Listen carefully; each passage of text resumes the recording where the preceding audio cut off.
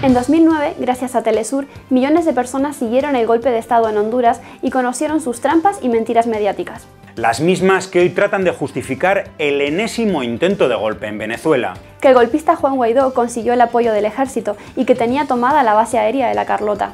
Telesur lo destapó, el 80% de los soldados implicados habían sido engañados y jamás pasaron de una autopista ubicada frente a la base aérea.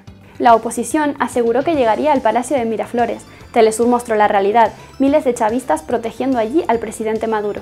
Que este tenía un avión para huir a Cuba, que el ministro de Defensa negoció su rendición. Mentiras y más mentiras de una prensa sumisa y canalla, desmontadas en directo por esa joya informativa llamada Telesur.